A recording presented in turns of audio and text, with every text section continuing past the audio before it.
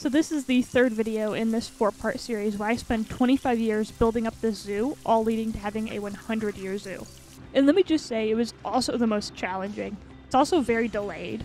I actually started working on it a couple days after I posted the 50 year video, but Planet Zoo servers kept crashing, and when that happened, it would lag my OBS and mess up my recordings.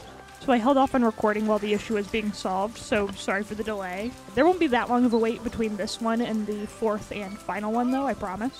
Also, I did pick up some of the DLCs while they were on sale over the holidays. I got the Australian pack, the Aquatic pack, the Conservation pack, and the Twilight pack. There really wasn't any rhyme or reason to how I picked them, I just chose the ones I thought looked neat. But with all that said, let's get into it. We're going to start with the fact that I forgot to mention that I now have leucistic Bengal tigers in my zoo, which is quite neat. I also spent some time renovating the camel habitat, because while checking out the new DLC animals, I had noticed that this horse was compatible with the Bactrian camels. I know it's not just called horse, by the way. There's definitely a word in front of that, but I'm, I'm not trying to pronounce that word. That's just not happening. And since the camel habitat was way too big anyway, I decided to throw a herd of them in there to fill up the space a little more which meant making them a shelter and tweaking the terrain a little bit. And honestly, I don't want to dwell on these guys for too long because they don't stick around. And uh, no, I won't elaborate on that quite just quite yet. But either way, I finished the habitat renovations and moved on to adding the next animal to the zoo, which just so happens to be one of my favorite animals, the okapi. And unfortunately, I don't have the footage of making the barrier, adding the water, or making the shelter because my game crashed and I unfortunately lost it. But the only real thing of note is that this is a walkthrough habitat, and because of that, I went ahead and made this shelter with one-way glass along the front. I fixed the terrain to their liking before pulling out some trees that I lined the back of the habitat with, making sure to cover the staff path with leaves because it amuses me to make the staff walk through it to get to the habitat. And I was really happy with how it was looking, but it got a hundred times better after I found this giant rhubarb plant. Just look at this thing.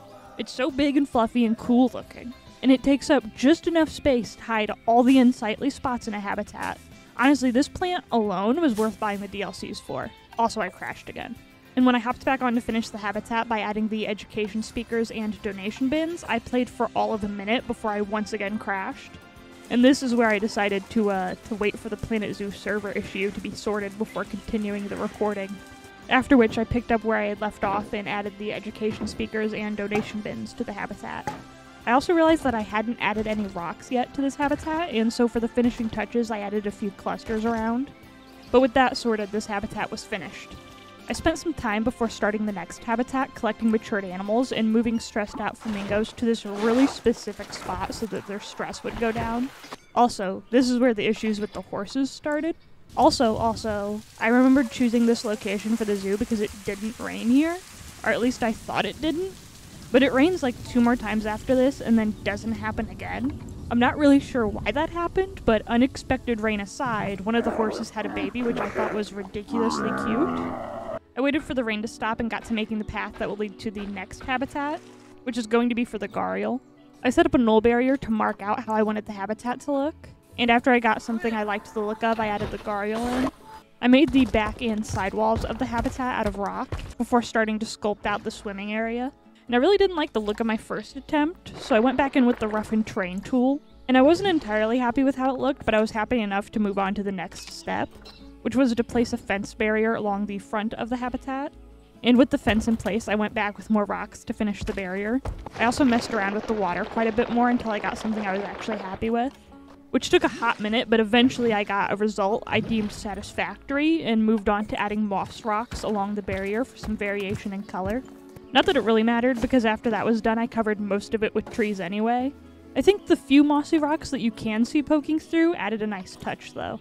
And then I moved on to arguably the most important part of this habitat the water. It takes up such a large chunk of the enclosure that I wanted it to look nice and be full of greenery. So I started with adding blue lotus plants before moving on to adding the underwater plants, along with a sparse amount of cattail and common reeds to make the outer edge of the water look more busy. I also decided that I had been too sparse with the blue lotus plants, and so I added a fair few more, along with some common water lilies to add more variation. After which I added the enrichment items and fixed the terrain. I added some rocks, threw down the education speakers and donation bins, and this habitat was done. I then let the game run for about three years. Also, this was really the only way for me to let time pass in this game. My zoo has outgrown my computer's capabilities by just a little bit, and so if I open tabs and build stuff while the game is unpaused, I lag. The lag isn't too bad, but it wouldn't make for very good footage, so I spend a chunk of time in between building to maintain the zoo. Not to mention the constant notifications going on in the top left. None of it's particularly interesting though, so I probably won't mention too much of the in between unless something interesting actually happens. Like how the Okapis had a really cute but really angry baby. Also, I placed more feeding stations and removed some of the feeding enrichment items in the camel habitat, because I remembered when I was having issues with the flamingos and peafowls being hungry despite just being fed that that had helped quite a bit. Also, one of the Siberian tigers passed away, and I'm only mentioning it because it was specifically a Siberian tiger that passed. And when I went to put another tiger in there, I accidentally added a Bengal tiger instead of a Siberian tiger, and I completely missed my mistake and instead moved on to adding the next shopping area. And just as I was finishing it up, I got the notification that she had arrived at the zoo. And after I added all the stuff in the area to the proper work zone, I zoomed out to see how the larger zoo was looking, and I got the notification that Brody had died. And I was so disappointed because up until this point, I had never had an animal die from anything other than old age. But the show must go on, and I needed to pick me up, so I decided to work on the next habitat, which was going to be for the giant pandas. And it was going to slot in neatly next to the new shopping area. So I set up a wooden barrier with glass for the viewing areas and added the pandas. After which, I gave them a water area and added some climbing structures to the habitat, which also doubled as their shelter. I placed their feeding platforms on top of the climbing structures because I've never done that before and I thought it would be cute. After which I added the bedding and the rest of the enrichment items, before pulling up the nature tab and giving them some cherry blossoms and Himalayan birch trees, along with covering the back of the habitat with bamboo and adding a healthy amount of rocks, before going through and adding a variety of plants and finishing it off with fixing the terrain. And that was this habitat finished. I didn't get to enjoy it for too long though because I got a notification for an escaped animal, and this little fiend was the culprit. He doesn't look very escaped, but technically, because I didn't make sure the null barrier was behind the fence, he had crossed the imaginary barrier. So I fixed that really quick and was able to go back to the pandas. Also, I forgot to add education speakers and donation bins for quite a while, but I did remember eventually. I also had to add coolers to the habitat because the pandas were not happy with the temperature. But after that, the habitat was actually finished. And while I was recording the pandas eating, I got another escape notification. I wasn't quite sure which of the four pandas escaped, because they all looked rather confined to the habitat as far as I could tell, but upon closer inspection, this dude was definitely outside of the habitat. Yeah, not really, that's a joke. He was definitely not outside of the habitat. He's very much so in the habitat. And so I went back to watching the pandas eating, and it stopped telling me he escaped after a second. And despite being a little bitter that the people who ran were going to want refunds, watching the pandas eat made it just a little better. Until I had another glass phasing escape. Luckily enough, though, no one seemed overly concerned with this little guy running around. He did eventually get caught, though, and he dropped like a lead balloon. There were also still issues with the camel habitat, and so I went back through and deleted some more of the enrichment items to try and solve the issue. After which I went to check on one of the Siberian tigers because they had poor welfare, which was due to a lack of hydration.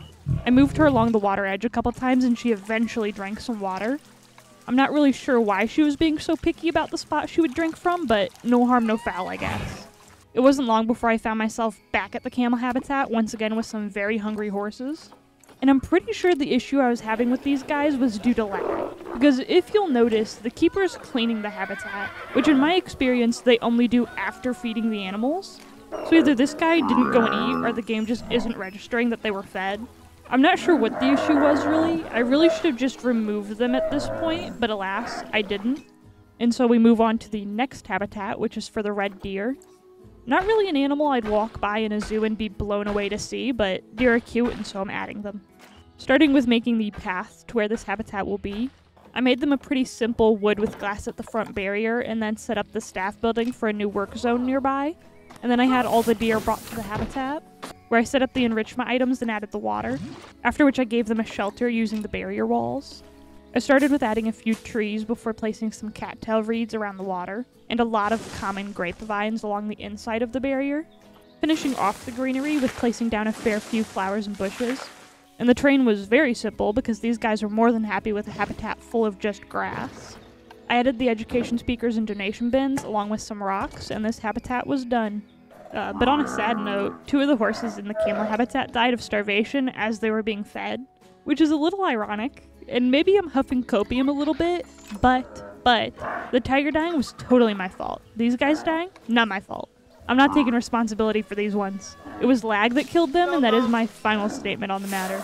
No, but all jokes aside, though, I was so disappointed to have another animal die from a way that wasn't just old age. And I'm actually not sure why it happened, or how it could have been prevented. But either way, I moved on, and so did King. But at least he died of old age. I set up a memorial plaque on the barrier, which I haven't really been keeping up with doing for all the other animals, but since I actually named him, I figured I would hang up the plaque. And after all that was done, I wanted to move on to the next habitat. First, though, I wanted to set up this ride. And no joke, it took me at least 30 minutes to get this thing working. This was my first time adding one of these rides to a zoo, and it fried my brain for some reason. But overall, it was a nice addition to this segment of the zoo. My plan was to make the hippopotamus habitat next, but when I went to the market to get some, they were in rather short supply.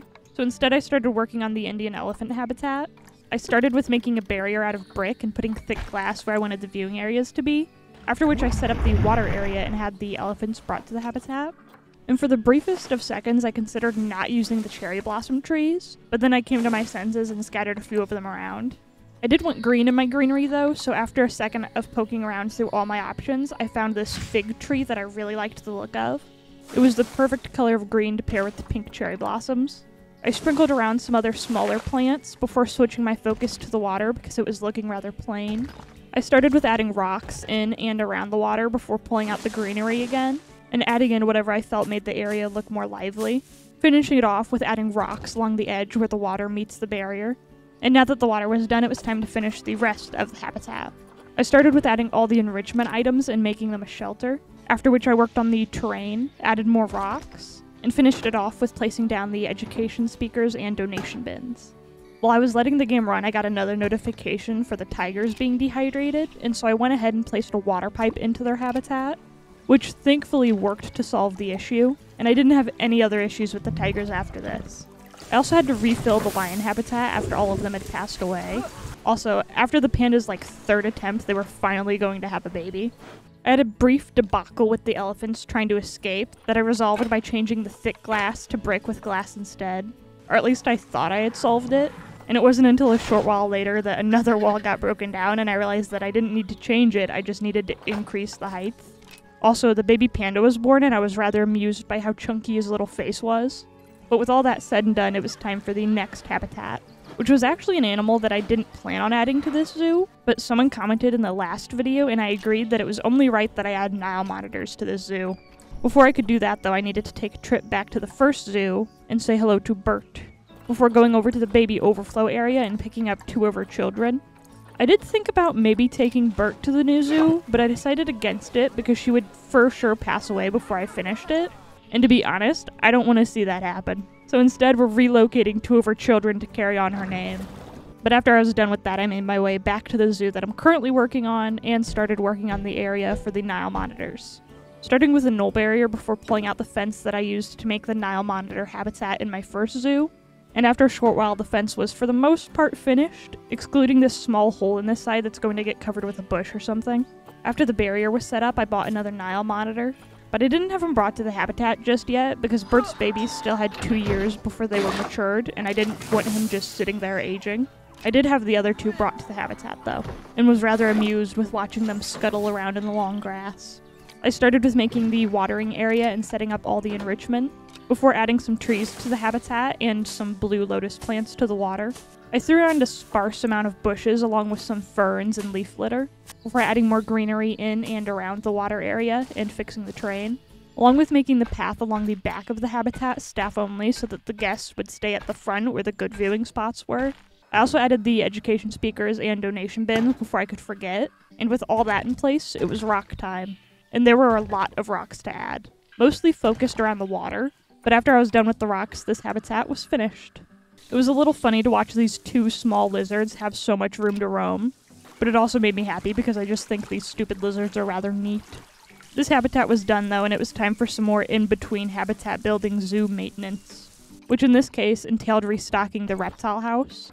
Oh, and I also realized that the mechanic research tab had new things from the DLCs that I didn't have going, so I started those. And I also went ahead and added the last Nile monitor to the habitat. Also, since the left side of the zoo was finished, I decorated it with some trees to finish it up a little bit more. And with all that done, it was time to start the next habitat, which was meant to go behind the red deer habitat, but I think I built the ride track too low because I couldn't place a path underneath it. And so instead, I made the hippopotamus habitat next to the Indian elephant habitat and I was a little stumped as to how I wanted to make this habitat. But in the end, I decided to sink the terrain a little bit and use a null barrier. I added the water and then had the hippos to the habitat. After which I set my sights on figuring out the barrier situation. My initial thought was to use rocks to line the edge and act as the barrier. And I tried a couple different iterations of that and didn't really like any of them. So instead I used the steel mesh barrier for the habitat. I didn't think it was the best looking option, but it worked. Also, while I was working on that, the first Nile monitor babies were born which I thought was pretty exciting. But back to the hippos. I went about making them a shelter and placing all their enrichment down, before getting out the trees and adding a healthy amount, mostly around the back of the habitat. I threw common reeds along the edge of the water, and added various other bushes and flowers to the habitat before pulling out the rocks. And at first I added rocks into the water to make it look less plain, but it took away a lot of the traversable area, and so I took them all out. And now these guys live with some very plain looking water, but that didn't stop me from putting rocks everywhere else, even if it was just a touch sad to see such rockless water. But a couple education speakers and donation bins later, and this habitat was done. And when I zoomed out to look at the zoo in its entirety, I was rather pleased with how it was shaping up. Also, while I was looking to see what the money flow for the zoo was looking like, I made a startling discovery. But I had plenty of animals in my animal storage that I just hadn't cleared out yet, and so I did just that and earned myself a chunk of money, so I really wasn't all that worried about it. I'll tell you what really wasn't helping the money issue, though. Animals that are very much so not escaped, escaping. According to the game, at least. I don't know what it is about this specific spot in the panda's habitat that does this, but it is very inconvenient. Especially when all the guests that run are going to one refunds. That aside, though, the Nile monitors had more babies. And because the Nile monitors are the least problematic animal in the zoo, they are also now my favorite. And the snow leopards are now my least favorite even though he did do me the favor of turning around and phasing back into the habitat. All that aside, though, it's time for another habitat, which is going to be for timber wolves. And when I was buying them, I got really confused because some of them were a different color, but it wouldn't tell me what the coat color was. And so, out of curiosity, I bought the cheapest one. I set up a basic wood barrier with glass and had the wolves brought to the habitat. And I was waiting for the wolf with the odd coat color to be brought to the habitat because I was almost positive it was going to be just the same as the rest and that my game was just being funky, but she actually did have a different fur color. I don't know why it blanked out the coat color in the marketplace, but either way, she was rather neat looking. I made the shelter for this habitat, after which I gave them bedding and their enrichment items, added a water source, and moved on to the greenery. I kept the trees to the back of the habitat and changed the terrain to snow. These guys also howled really loud right into my ears. Rest in peace to my fellow headphone users. That's a joke. I'm going to turn down the volume so you don't have to suffer like I did. I added some coolers to this habitat because the snow terrain just looks like rock if it's too warm, and I wanted at least most of it to look like snow. With all that done, though, I pulled the plants back out and threw down some bushes and a fair few flowers to add some color to the habitat. I added rocks in and around the water and scattered some in the greenery, but overall not too many because I didn't want to take up too much of the traversable area with rocks. I also realized that despite having added quite a few new animals, I hadn't been prompted to raise the zoo costs at all so far which I thought was weird because typically with every new habitat, the zoo appeal goes up and you can charge more without guests being upset. But that hadn't happened, and so I raised the price as much as I could without guests being too prickly about it. Also, I did remember eventually to add education speakers and donation bins to the Timberwolves. After which I was ready to make the last habitat for this video. And then my game lagged, which lagged my OBS, and the footage of making the barrier was lost. Fortunately enough, though, making the barrier is not the most riveting thing to watch, so no harm, no foul. Also, this habitat is for mandrills. Mm-hmm. It's a monkey, typically not my favorite thing to build for. But when I was mapping out this zoo, I thought there at least needed to be one monkey or ape, and this was my pick. I added water to the front and made them a shelter, after which I placed down all their enrichment items, including climbing stuff. And this is where I would say that I pulled out the plants to add the greenery if I had the footage but my stuff lagged again, and I didn't notice until I was almost done with the greenery, which was a little bit of a shame, but I wasn't done quite yet. There was still some decorating to do, and so I pulled out some bushes to cover the blank edge of the habitat before sinking some bushes into the rocks lining the front because I thought it added a nice look. There was also still plenty of rocks to place, so I copied a cluster and got to it. And when that was done, I fixed the terrain, and that was it for this habitat. I do remember to add education speakers and donation bins at some point, by the way. Just not now. First, I worked on adding vending machines, benches, trash cans, and education boards along the paths I've added, and then I remembered to add the speakers and bins. Also, as time passed, the money thing was still a persistent issue, which I was mitigating by selling the animals that I could, but I needed a more reliable fix, and so I took to firing some of the staff that had low workloads. And I pretty much spent the rest of this 75 years trying to solve or at least slow down this issue. The second thing I tried after firing staff was to add a souvenir shop in another zoo entrance, where I thought there could be more foot traffic. I did make sure to fill the souvenir shop, by the way. I also turned contraceptives off for any of the animals that still had it on, which will do one of two things. One, it's going to cost me more money, or two, I'll make more money by having more animals to sell. I didn't really wait to see if that actually worked before moving on to another solution. I tried raising the price of most shops by 50 cents. And it's worth mentioning, I think what caused this issue is that I trained all my staff to 5 stars. And you might think the easy solution would be to solve the root cause of my problem, and that I should just rework my staff so that they're not all 5 star employees so they don't want to be paid as much. And to you, I would say, think less, like me. Because instead of doing that, I simply fired more of them, which didn't help, before ultimately just lowering the difficulty of my game to easy mode. But I'm getting ahead of myself a little bit. I really didn't want to change my game mode, but then one of the lions must have picked up on the snow leopard's glass phasing talent, and there were so many people running, and each of them was going to want a refund. I even changed it to medium difficulty before just biting the bullet and setting it to easy. And even on easy difficulty, the issue wasn't completely fixed, but it was fixed enough. And not long after, the end of year 75 came around, which marks the end of this 25 year segment. I hope you enjoyed watching. If you did enjoy watching, maybe consider subscribing. I'll see you in the next one. Goodbye.